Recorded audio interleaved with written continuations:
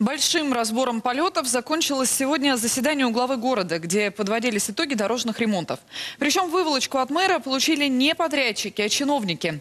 Эдхам Булатов поставил вопрос о реорганизации ведомства, которое у нас контролирует ход дорожных работ. Значит, я хочу сказать, что меня не устраивает такая работа. Как так получилось, что пол проспекта заасфальтировали, а потом начали вырезать?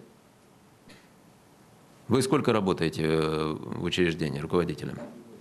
Три года.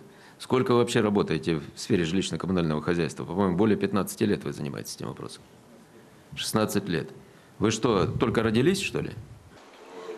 Такой жесткий выговор получил руководитель городского центра капремонта жилья и благоустройства Леонид Быков. Мэр припомнил главный летний конфуз – переделку проспекта Мира.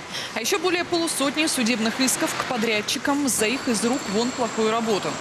Глава города уверен, это и вина чиновников, которые не доглядели, потому что не очень старались.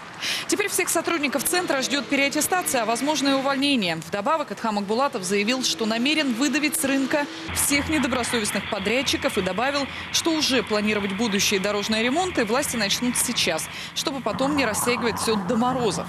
И обязательно будут советоваться с красноярцами. Так, в течение двух недель Департамент горхозяйства должен выложить на сайте администрации список тех дворов и проездов, что будут асфальтироваться в будущем году.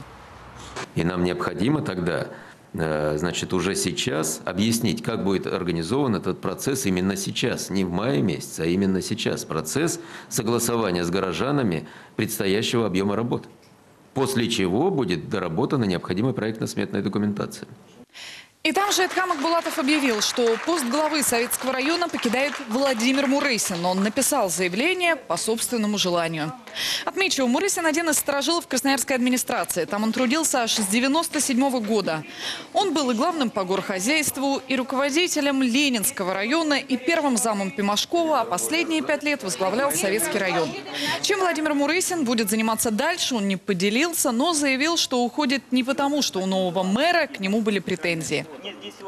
Ну, наверное, в жизни каждого руководителя приходит время, когда надо принимать такое решение.